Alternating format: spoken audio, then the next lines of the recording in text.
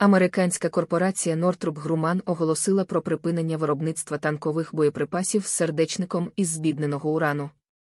Ця інформація опублікована на офіційному вебсайті компанії. Компанія оголосила про завершення виробництва 120-мм танкових бронебійних боєприпасів М829А4 з урановим сердечником, виконавши відповідний контракт.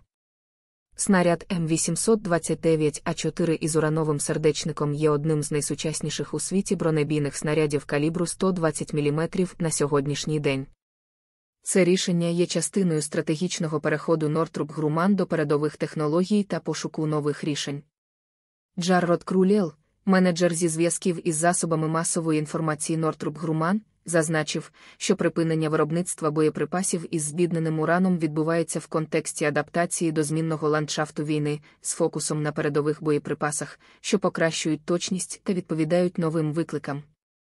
Представники компанії зауважили, що М829А4 буде замінено новим поколінням снарядів. Також була згадана розробка перспективного багатоцільового снаряду М1147, який має замінити кілька інших зразків.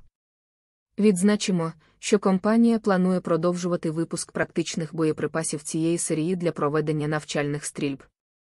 Танкові бронебійні снаряди із сердечником із сплаву урану володіють великою пробивною здатністю танкової броні і їх використовують у різних країнах, включаючи армію США.